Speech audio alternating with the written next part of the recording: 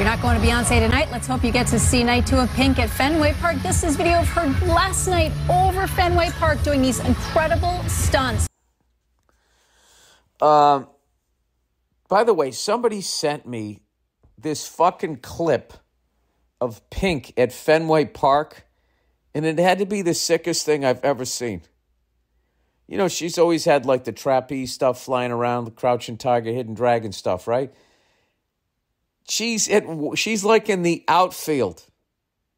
And all of a sudden, she just starts doing backflips over the whole crowd across the whole stadium on this wire. Just and they had her lit up like Tinkerbell. It looked like anyway. And she just fucking I don't know how many she did like she did like fucking 20 of them across a major league baseball park. And then she landed on this little thing like Superman, like waved to everybody. And then they brought her along the upper deck and she was like running, acting like she was running in air along the fucking upper deck. And then it goes back to where she started and she's still running in the air. And at one point, she just has like one leg up and one leg down, like landing like Superman.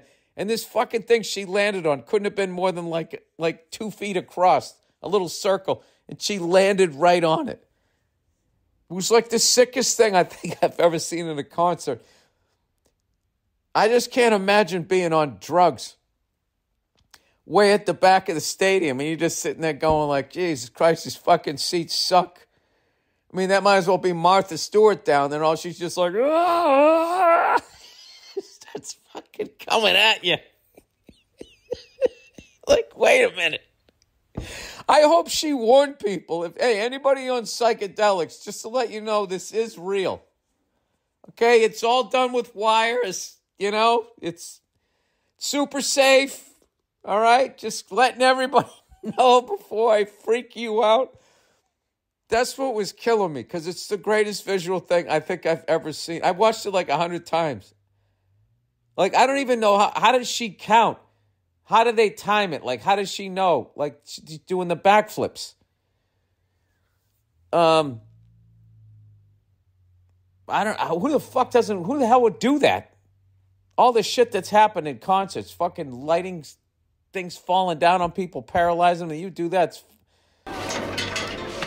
Three, two, one.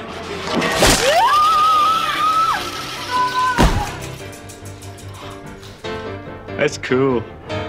That's like astronaut level balls. But anyways, I was just kept thinking about if like nobody knew that technology existed, but somehow they had it back in the 80s when I was going to concerts and I was just thinking like and you had no idea that was coming, like what the crowd would have just stampeded out of the stadium thinking you were like a fucking witch or something.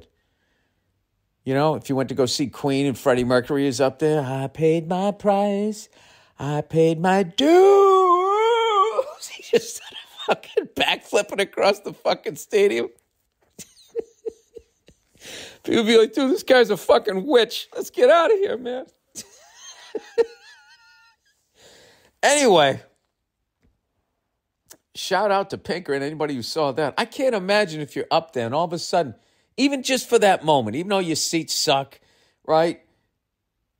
Not the backflip part, but when she runs by like she's on this fucking invisible unit, look like, like like she's on a horse, just came flying by. I mean, that right there makes it like worth the worth the trip. I think it's it's a really smart thing. Anyway, I was fucking blown away by that. I don't know who the hell came up with that shit. We had Tommy Lee going upside down in his drum kit. But even then, they showed it in the music video. So you, you they, Motley Crue was nice enough to give you the heads up that it was coming because they knew that their crowd was going to be on drugs. Um, anybody was at that Fenway show, like tripping on mushrooms or whatever, and had no idea that that maybe you were a casual fan of Pink. I'm coming out, gonna get the pie.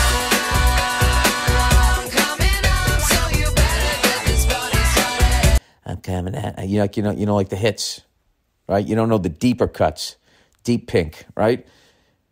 So you just fucking go with a friend of yours, you know, and you're like, well, you know, all right, at least I can do some drugs. Anybody? Did anybody go to that show and have no fucking idea that that pink was going to be in seven seconds right next to your fucking seat?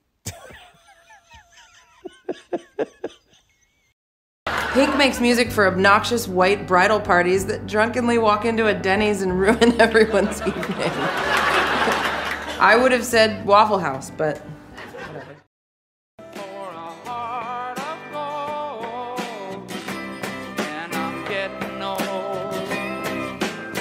Let's go.